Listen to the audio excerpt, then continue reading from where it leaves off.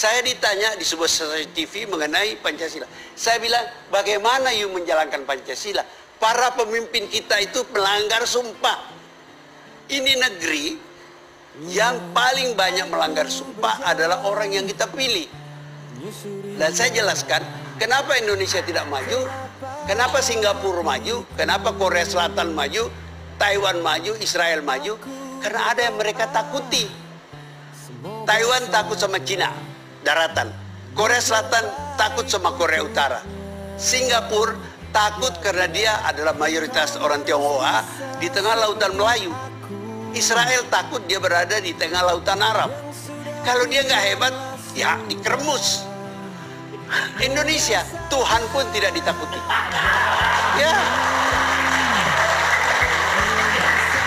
Jadi kalau Anda mau tanya kenapa nggak maju kita, Tuhan pun tidak ditakuti.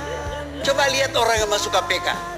Semua berdari sumpah di bawah kitab suci atau berpegang pada Bible. Sudah itu dia langgar dan dia tidak takut sama Tuhan.